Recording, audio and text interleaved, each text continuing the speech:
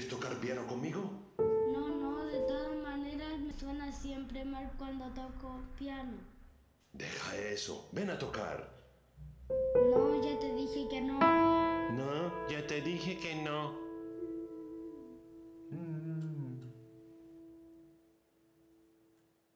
Ya, Po. Porfa. Por favor. Eduardo, ven aquí. No, ¿No quieres que hagamos cosas juntos? no, no, no quiero hacer cosas juntos.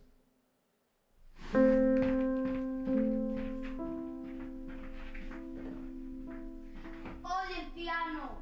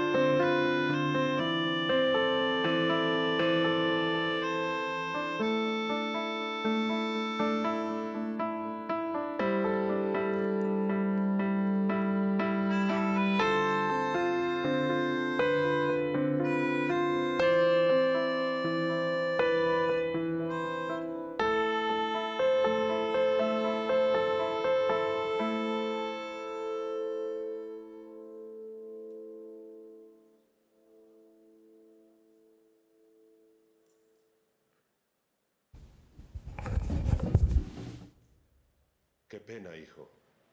Porque cada día que pasa, eres mejor.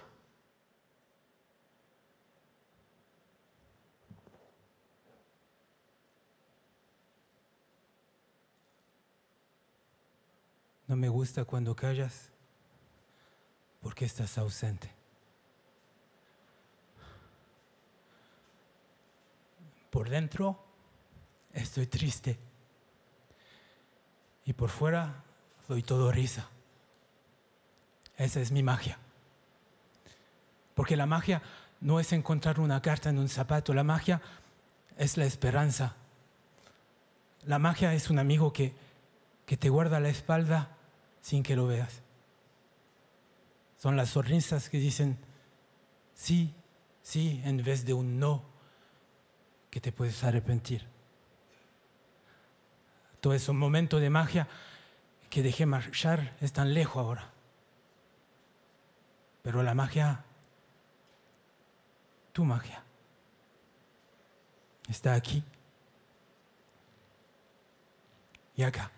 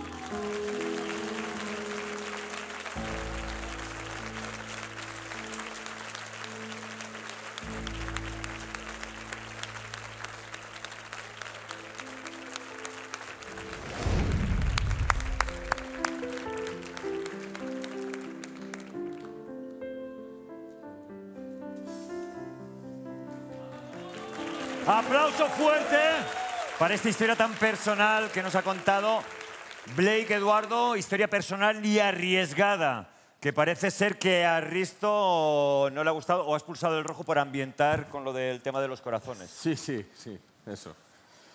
No, madre mía, madre mía, qué ida de olla más tremenda. Eh, o sea, esto ha sido más largo que un día sin wifi.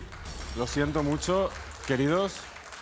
Estáis aquí por cosas que habéis hecho muy buenas hasta ahora, pero esto se os ha ido la pelota, pero de una manera espectacular. O sea, lo siento. No, no, no, es que no, no es una cuestión de sensibilidad. Uno puede tener más o menos sensibilidad en juzgar lo que ve. Es una cuestión de equivocar radicalmente el tiro. Radicalmente. Lo siento.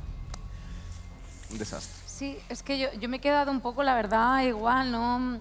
Entiendo que a lo mejor para ti esta actuación es especial porque, pues, por lo que hayas vivido, lo que cuentas, pero claro, nos tenéis acostumbrados a otro tipo de, de espectáculo, otro tipo de show.